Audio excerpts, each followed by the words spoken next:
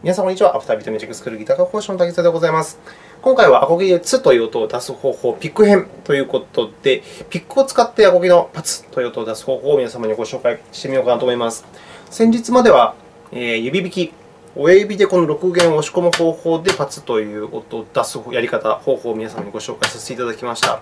けれども、今回はピックを使ってパツという音を出していきます。えー、先に言っておきますと、指で弾くよりもむっちゃむずくなります。マジむっちゃむずくなります。ピックで弾くとすっげえむずくなります。で、どんな感じになるかというと、ちょっとやってみるとこんな感じです。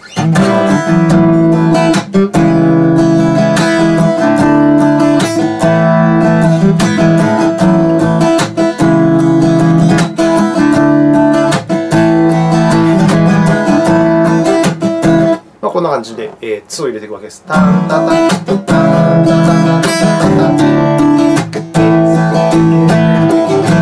みたいな感じです。やってみましょう。やり方というか、その音の出し方自体は指でやってるやり指の方法とやり方は一緒です。まあ、つまりはこの6弦をね、このフレットに叩きつけるわけですよ。指の場合だったら親指を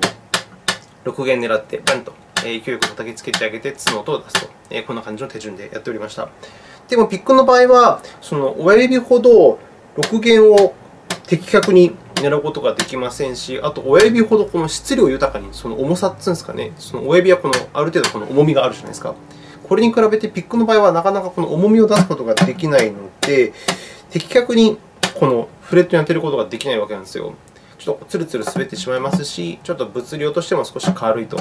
でなおかつその、ね、全部の弦をこうバーッと弾いてしまいがちなので、ちょっとやり方を変える必要があると。で、どんな感じでやっていく必要があるかというと、ブリッジメイトをするこの側面部分、こちら、こちらと同時にピッキングをしていきます。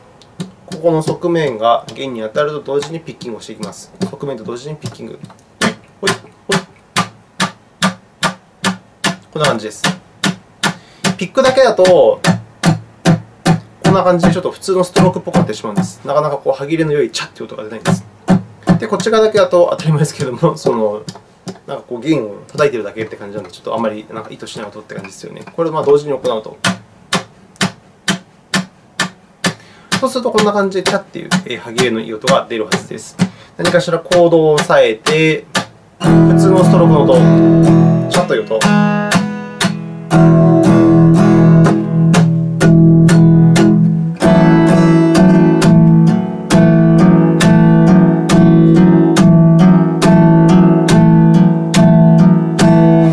ブリッジミュートしているわけなので、ちょっとね、あの音がこもってしまいがちになってしまうんですけれども、うまくいけば普通のストロークにこのままツの音を混ぜ込むことができると。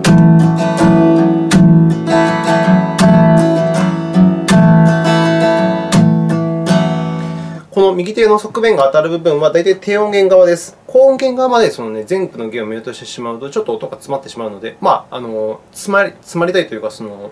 歯切れの良い音を出したいときは、まあ、全部の弦を触った方がいいんですけれども、ストローク、えー、つまりコードの音も一緒に鳴らしたいときは、低音弦側だけ触るようにするというかなと思います。で、ピックをバーッと動かして全部の弦を弾くと。こ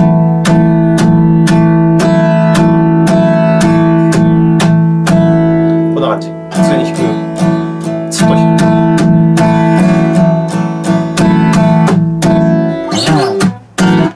こんな感じです。ちょっと難しいですよね。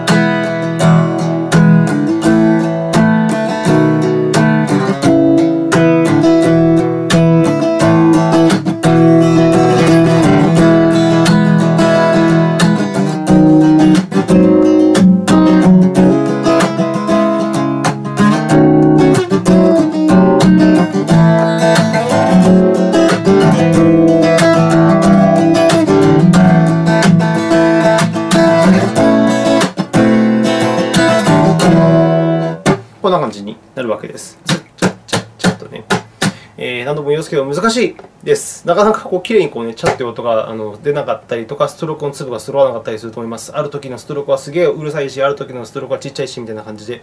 このバランスを整えながらリズムよく、あのつつという音もこの歯切れよく鳴らすのが、まあ、これまたすごいこの、ね、難しいわけなんですけれども、うまくできるととっても表現の幅が広がりますので、ぜひともえチャレンジをしてみてくださいませ。ちょっくらま手前見せながらえ僕のえー、と動画の話をさせていただきますと、えー、とあの先日公開した「蝶々結び」という動画ですね、その中でサビで。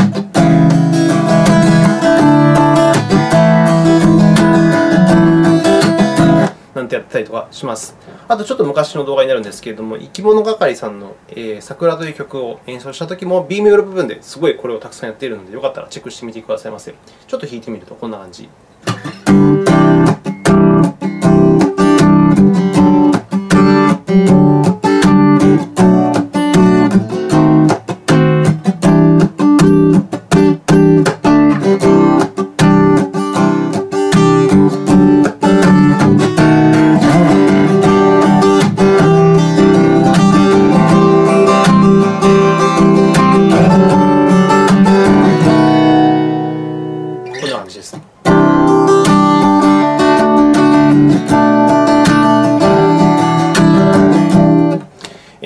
んな感じでよく聞いていくと、まあ、結構難しいことをしているなということが分かっていただけるかと思うんですが、まあ、本当に興味があったら、えー、その昔の演奏動画をチェックしてみていただけますと、えー、幸いでございます。ではでは、えー、ピックで「つ」という音を出す方法、えー、以上でございます。